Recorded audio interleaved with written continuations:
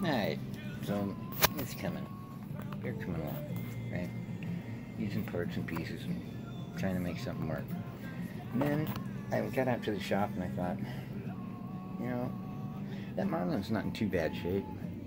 I'm just gonna like rebuild the nose on it. So I've taken flaps from an old wing from an air tractor and some just styrofoam foam board and some carbon fiber and it's, it's coming. Have any trouble putting any batteries in. It's plenty strong, so I think they'll. I'm, I'm, I'm, I'm investigating crash repair on a whole new level here. Um, I'm doing everything basically by sight because I don't, I don't have any plans for any of this shit. So I've been going off pictures, you know, where approximately things are, and making it strong enough to stay together. And I fly it is what's important. So, alright, man. More videos on the way.